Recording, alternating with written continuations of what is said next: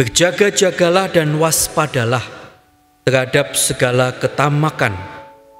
Sebab walaupun seorang berlimpah-limpah hartanya, hidupnya tidaklah tergantung pada kekayaannya itu.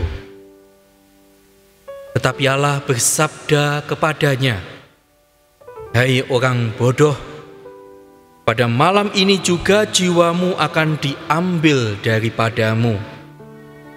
Dan bagi siapakah nanti apa yang telah engkau sediakan itu?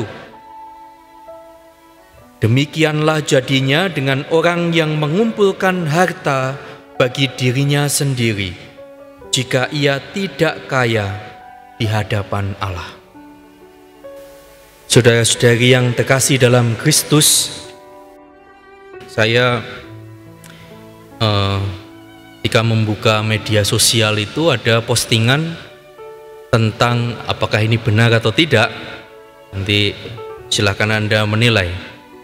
Jadi ada seorang Jack Ma namanya, tentu Anda kenal, dialah uh, eh, CEO-nya Alibaba, hmm, yang katanya akan menye, uh, apa, mundur. Tapi dia uh, dalam postingan itu dia menasehati anaknya.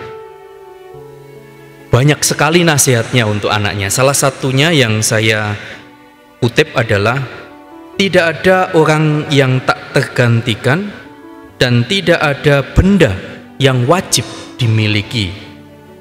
Maka kalau kamu paham akan dua hal itu, kehilangan semua yang berarti itu, berarti dalam tanda kutip, kamu uh, segala persoalan itu bukanlah hal yang besar. Semoga Anda menangkap ini ya.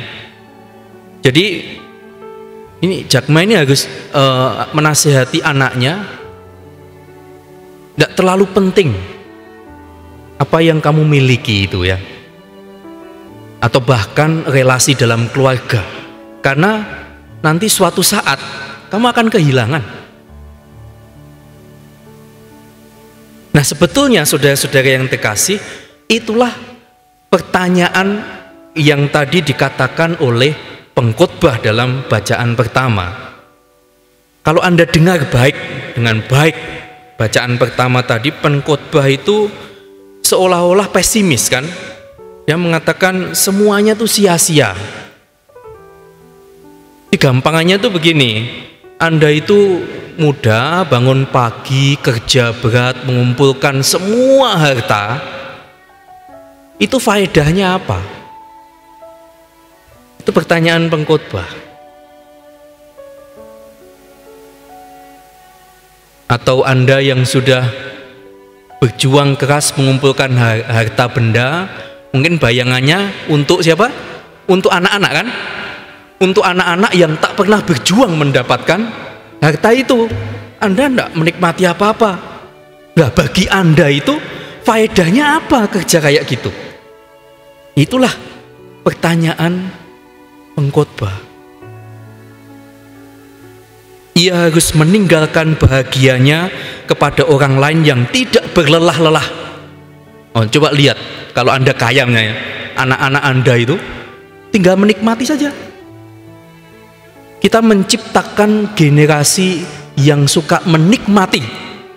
Sedangkan Anda, saya tidak mau mengatakan anak-anak sekarang ini jelek semua Anda ya tetapi pertanyaan ini untuk untuk Anda, untuk kita yang sungguh-sungguh berjuang untuk mendapatkan itu. Apa faedahnya? Silahkan jawab sendiri. Itulah pertanyaan dari seorang pengkhotbah yang merenungkan hidupnya. Kau kayaknya sia-sia gitu ya. Kita berjuang nanti ya mati juga. Terus mau ngapain? Anda mau menguasai dunia. Setelah itu ya mati. Mau apa lagi? Apa faedahnya? Nah, suster ini bangun pagi ya. Bangun jam 4. Berjuang keras membangun sekolah misalnya. Setelah itu mati. Terus mau ngapain? Apa faedahnya? apa yang sungguh-sungguh kita kejar dalam hidup? Itulah pertanyaan yang sangat penting untuk dijawab. Nah, saudara-saudara di dalam Injil tadi, Yesus itu di, diminta untuk jadi penengah kan? Ada dua orang bersaudara yang bertengkar untuk mendapatkan harta warisan. Nah, ini anak-anak ini yang tadi saya katakan yang tidak berlelah-lelah. Akhirnya hanya rebutan harta warisan saja. Jadi dua bersaudara yang rebutan harta warisan datang pada Yesus. Mau nggak kamu tuh jadi penengah kami? Katakan pada saudaraku supaya berbagi. Yesus tidak menanggapi itu malah bertanya, siapa yang mengangkat aku jadi hakim?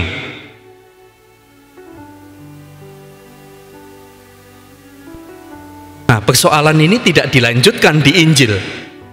Ini akhirnya bagaimana? Tidak dilanjutkan karena bukan itu yang penting. Rebutan harta itu tidak penting. Yesus mengatakan begini, berjaga-jagalah dan waspadalah terhadap segala ketamakan.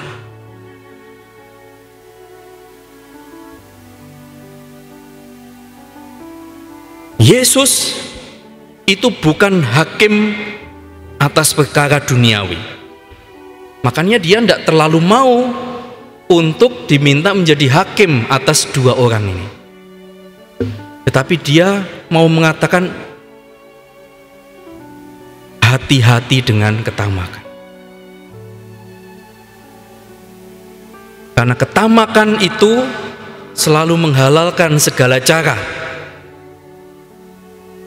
Ketamaan itu kadang menghancurkan persaudaraan.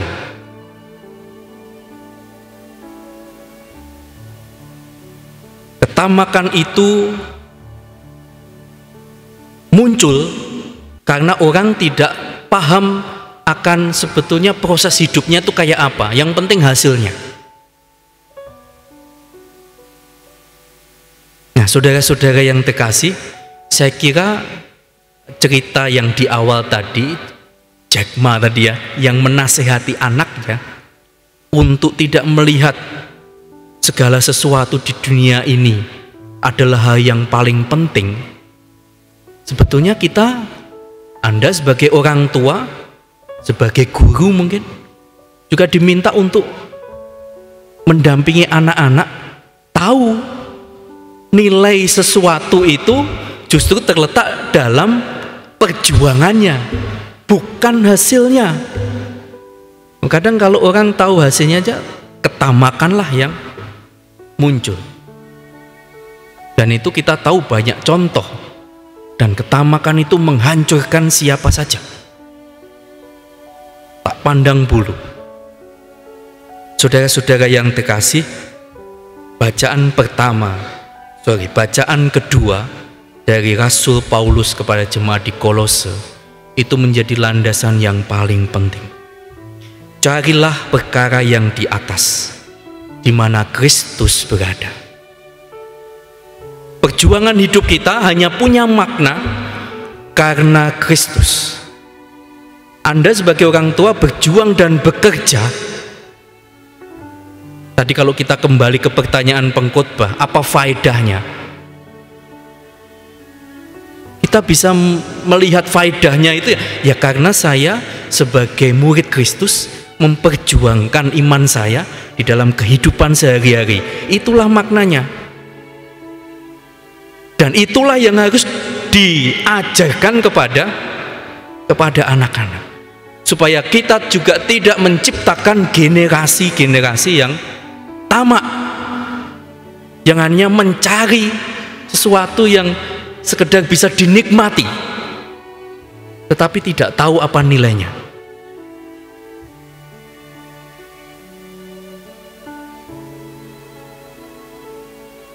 Mungkin bacaan-bacaan ini menegur saya, juga menegur Anda sebagai orang tua, juga menegur semua saja yang masuk dalam dunia pembinaan kaum muda untuk menciptakan generasi yang tahu memperjuangkan imannya di dalam kehidupan setiap hari.